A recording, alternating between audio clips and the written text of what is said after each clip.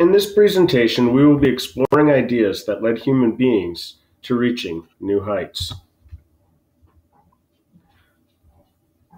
The first people that come to mind when we think about firsts in aviation history are, of course, Orville and Wilbur Wright.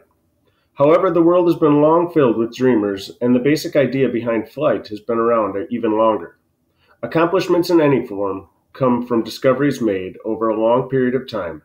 In a sense, we are standing on the shoulders of giants, like Archimedes, one of the great, greatest mathematicians in ancient Greece.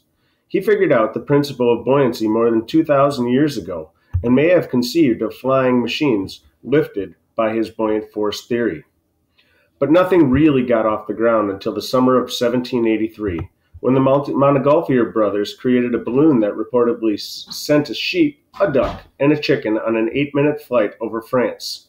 The two brothers worked for their family's paper company. As a side project, they began experimenting with paper vessels elevated by heated air. Over the course of a couple of years, they developed a hot air balloon very similar in design to the ones we use today. So the first brothers of flight, that goes to the Montgolfier brothers, who got their feet off the ground first. What the Montgolfier brothers observed by watching laundry drying over a fire was that air formed pockets that billowed upwards. They believed that the smoke contained a special gas, which they called the Montgolfier gas. And this Montgolfier gas had a special property in which they called levity, to levitate. Their experiments led us to the understanding that warm air rises. So, why does warm air rise? To understand this idea, we see that the flame heats up the air molecules inside the cube on the right. The molecules move faster and faster as they're heated, and they spread out, making the hotter air less dense than the colder air. That is, there are fewer molecules per unit of volume in the hot air than there is in the cold air. So, why does a hot air balloon float in air? Hot air balloons are based on this very scientific principle that warm air rises in colder air. Essentially, hot air is lighter than cold air because it has less mass per unit of volume. A cubic foot of air weighs roughly 28 grams, about an ounce. If you heat that air by 100 degrees Fahrenheit, it weighs about 7 grams less. Therefore, each cubic foot of air contained in a hot air balloon can lift about 7 grams. Now, that's not much, and this is why a hot air balloon needs to be so huge. In order to lift 1,000 pounds, you need about 65,000 cubic feet of hot air. So, how does density relate to hot air balloons? Density is the relationship between mass and volume of an object, where the mass of an object is measured in the amount of stuff or matter that it's made of. We measure this typically in grams, found using an electronic balance.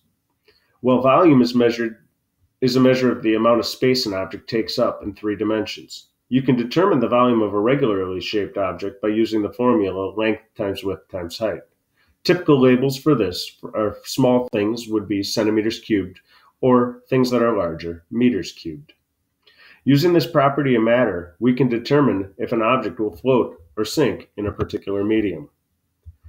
When we compare densities, we have to look at two objects. We look at an object's mass and we look at an object's volume. Consider the effect on the relationship between mass and volume in the example above. Let's consider that the mass of these two objects are equal. We can see that the volume of these two objects are very different. The large object takes up a thousand times more space. In order to make a hot air balloon float, it's important to maintain a very low mass while maximizing our volume. Does the volume of a hot air balloon matter? Tiny balloons aren't actually of much use because they have less volume and provide less lift.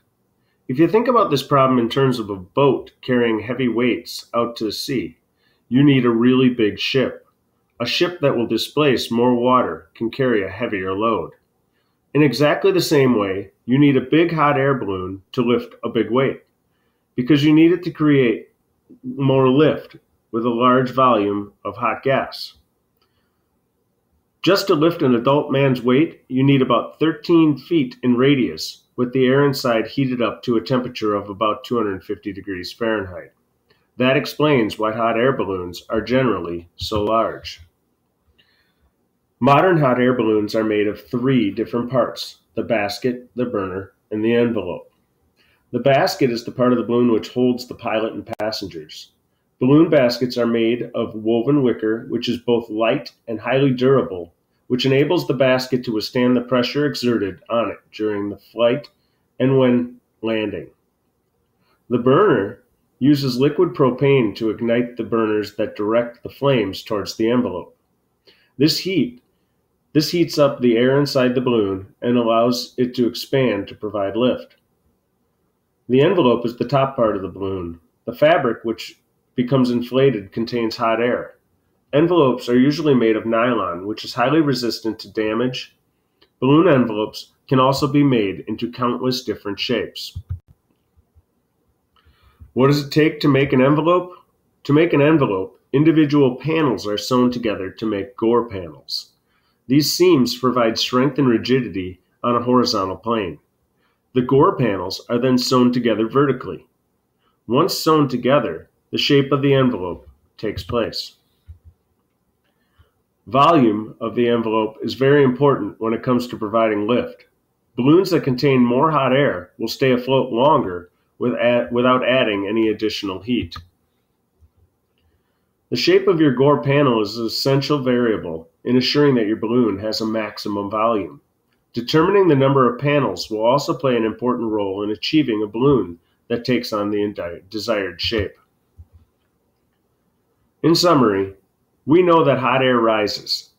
Heated air molecules spread out or expand and bounce around, and the space becomes less dense than the surrounding space. Increasing the air temperature inside the balloon envelope makes it less dense than the air, thus making it lighter than air.